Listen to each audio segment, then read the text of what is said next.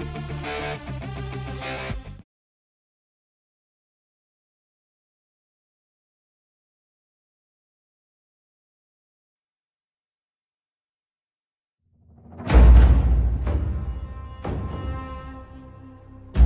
ask why we fight is to ask why the leaves fall. It is in their nature. There is a better question.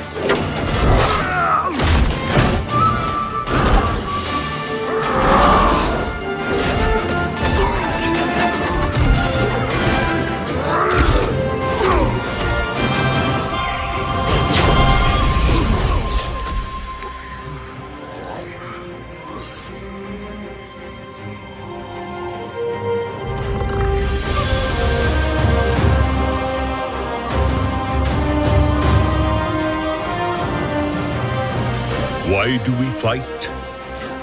To protect home and family.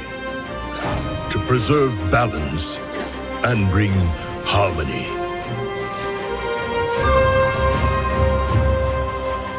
For my kind, the true question is what is worth fighting for?